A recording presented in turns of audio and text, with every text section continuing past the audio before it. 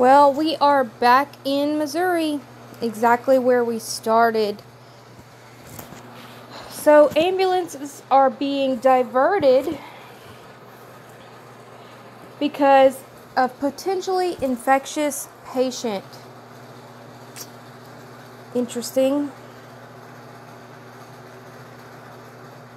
Hospital in Clinton diverts ambulances because of potentially infectious patient.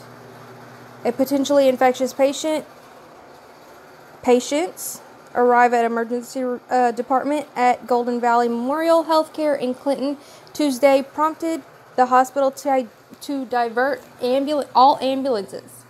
You realize this? All ambulances being diverted. Through the utilization of routine screening, medical personnel quickly identified potential risk and implemented the CDC protocol to ensure the safety of the patients. While treating the patient, the emergency department was on diversion to ambulance. Tra- oh, I mean, this is crazy. I guess they can't really hide it anymore. Oh, what about this one? Hmm.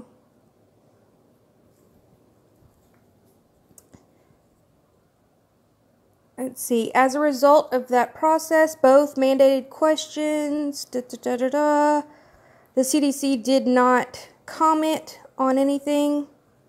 It didn't really matter what disease it was to us.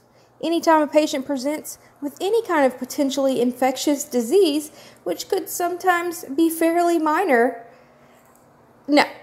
I worked in the emergency room for six years. Never, never, never did I see of anyone diverting all, oh my God, all ambulance traffic to a different hospital because of somebody that might be infectious with the flu.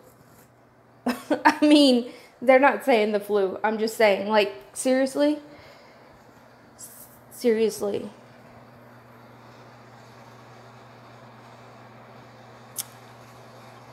Um, this news station asked if it could be Ebola. Is there any confirmation of that? No, not at all. I think that would be an extreme situation, said Thompson. I don't know who Thompson is. But Thompson said it was more serious than the flu. But there has not been a diagnosis. Also, I talked to the family of the couple from Fiji, and now all of a sudden, they can send the husband back. David is being sent back here to the States. No emergency cremation needed. Let me just say the family is very, very suspicious and they know they are being jerked around. And um, there's some other things that I've spoke to them about, but we are just letting the letting them, you know, get the bodies back and everything, and then they will pressure them more. We don't want to impede that process, but I will update y'all as things come in. Back in Missouri, just exactly where we started. Very strange indeed. All right, guys, y'all have a wonderful day.